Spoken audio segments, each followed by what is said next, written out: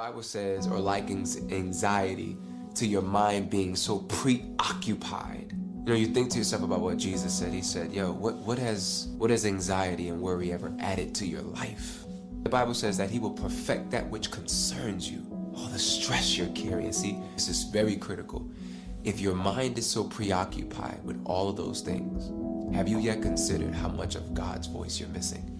When you're listening to the, the extreme volume of your anxiety, what you've been anticipating is going to happen, what you've been extremely worried about, what you're in fear about. But God has not even given you that spirit of fear.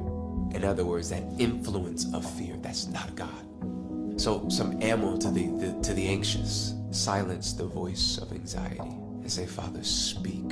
Your servant is listening. If you weren't anxious, if you were no longer afraid, and you no longer worried because you understood that God has you, His eyes are upon you, what can you now consider? Do not be afraid. Don't be